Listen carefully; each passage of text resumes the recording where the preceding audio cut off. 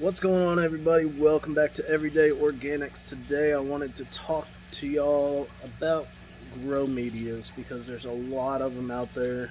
Um, they each serve a purpose for different applications. Cost wise, there's benefits to each of them. Uh, so, I wanted to run through a handful of them, give y'all some of the info that we dug into so that if you're trying to set up a system, you can make an educated decision for yourself, whether it be monetary aspect of it or use of it. So let's jump into it. Um, handful of them.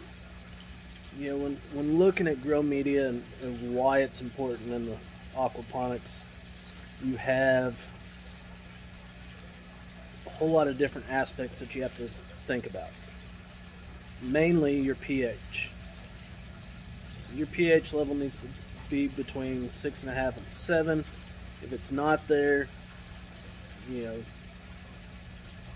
it's not good for the plants. It does a lot of negative things to the system. It can kill your fish. So understanding that your media has to be pH neutral, if you will, you need to understand what products are out there that you can use. Now, I've talked about that we used a mixture of lava rock and expanded clay. Uh, I would say number one, expanded clay is probably by far the best and for ease of use and how it works in the system, but it's also the most expensive. Um, and probably for that exact reason is that you know if if you've got water going into your deep water beds and you need to move a plant that expanded clay lets you reach all the way in there get underneath that root ball pull the plant straight up and it doesn't stop you from doing it. Now whereas lava rock once it starts growing into it it doesn't really move. And so as far as ease on the system and switching plants out if that's what your intent is with the system and replace it with new plants to root.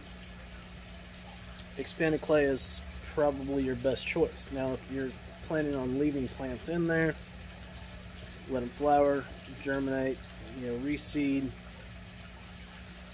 and you're not worried about having to move plants then some of these other medias are going to work just fine for you so one of the things to keep in mind is you do not want your media too small. It will clog the system. It doesn't let the proper air flow through it, doesn't let the water drain the way it should. And it causes big air gaps. If it's too big, if it's too small. So all those issues can creep up into your system and cause a lot of damage to it. And you're going to end up losing fish, losing plants, restarting and so you got to keep that in mind.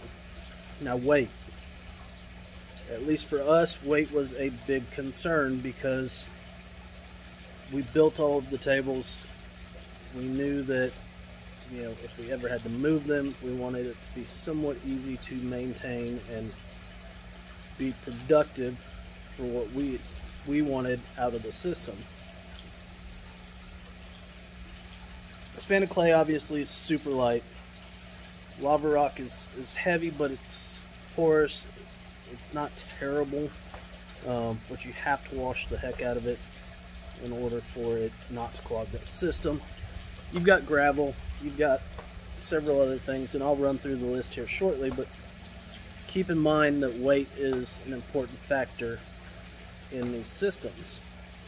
Uh, the depth you know, I know we've got a mixture of deep and shallow beds. Our shallow beds are being used for different things, but realistically you want 11, 12 inches of media so that the roots have a place to go. They take hold, they help hold your plants upright, and so keep that in mind when you're filling. You know, a 4x4 deep bed takes about six to seven bags of expanded clay in the 50 liters.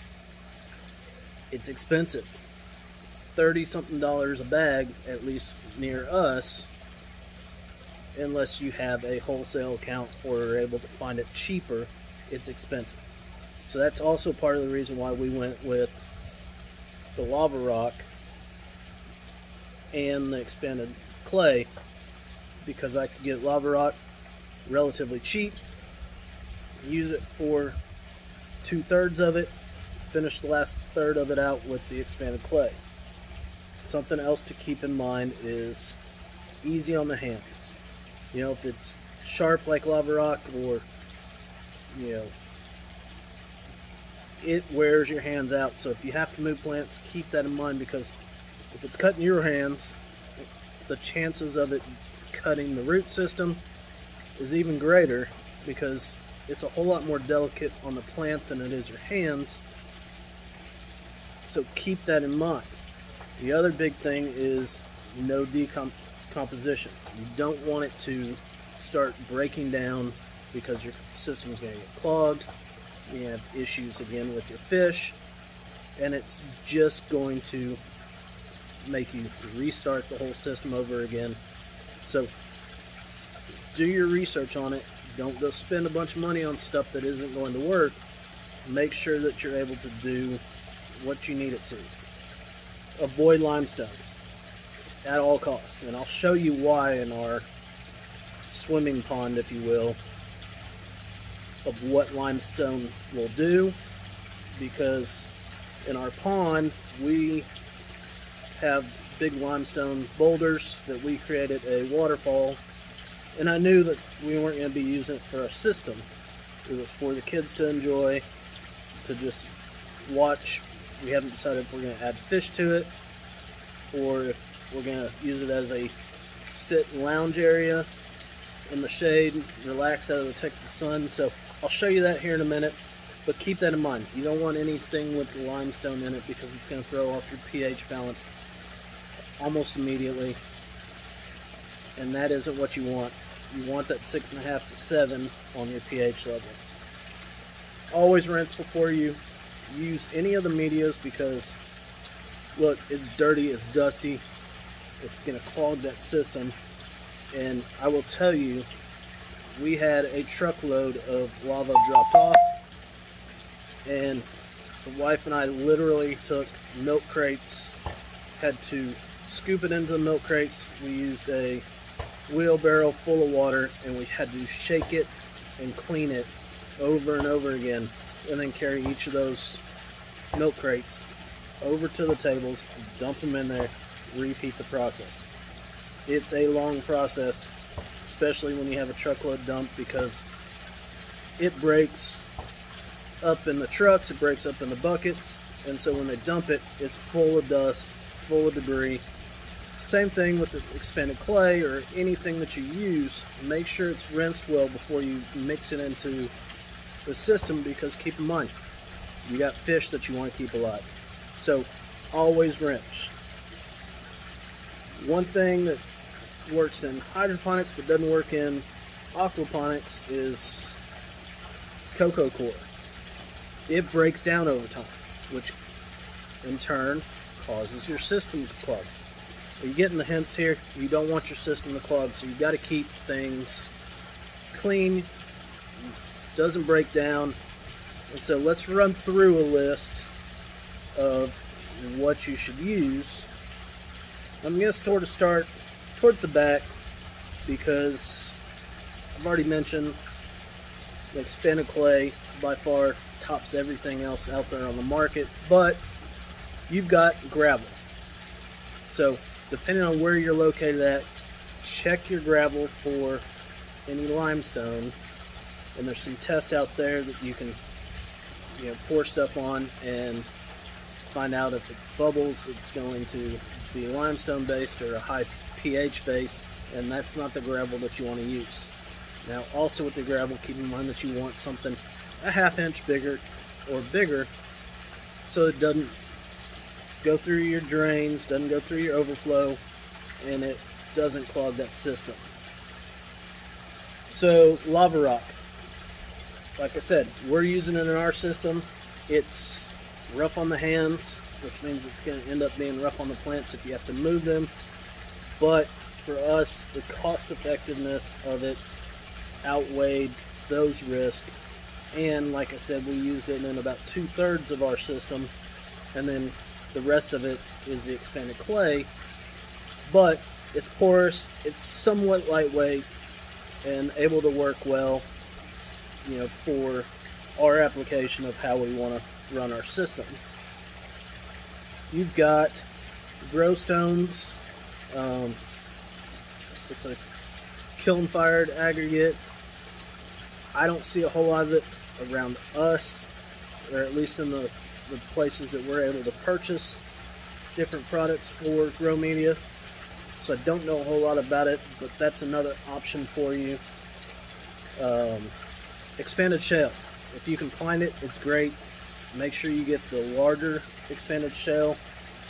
Uh, you know, we looked hard. We thought we had found it from a gravel distributor here in town, and it was this smaller shell, and it just didn't make sense because it was going to end up clogging everything, making a mess, and we end up rebuying everything. But it is cheaper option if you can buy it in bulk. Now you can get it in bags. Your Home Depots, your Lowe's, that kind of place typically carries bags of it, but there again, it came down to a cost factor for us. We didn't want to buy 70 bags of it because we were not going to get the price break by buying it in bags and so it just didn't make sense financially for us to do. And obviously the number one is your clay pebbles. We use it, we love it. It makes it super easy to get in and move around. So let me get up, let me show y'all a little bit why we chose what we did. Now as you can see here, you know, I don't have water running in this right now, but I can reach my hand all the way down in there. I'm at the bottom. I can come up and it's easy to use. Now in our deep beds, we have about four inches and then I hit the the lava. And so for that reason, it doesn't make it as easy to move plants. But I wanted to show y'all limestone. So as you can see, we've got our waterfall, got our plants growing in there. We continue to add more and more plants, but if you can see the bottom, you see all the limestone sitting down there. And so all that gets into your system, it throws off the pH, and it just isn't good for aquaponics. So, as you can see, there are a lot of different choices out there for your system. It Just depends on your financial situation, what you want to do with your beds? Are you leaving the plants in there? Are you removing them, transplanting them, and putting new ones in its place? Because that's important. If you're going to pull one, you got to place one. So, for us, like I said, we use somewhat of a combo on a bunch of them because most of our plants will stay but we do have a couple beds that we plan on pulling and putting new over and over and over again so we use the combo of it. So keep that in mind when y'all are designing your systems, whether it's cost effective for you, what you're doing with your system. Hope that helps. Hit me up with any comments or questions. Hit that like, hit that subscribe button, and we'll see y'all soon.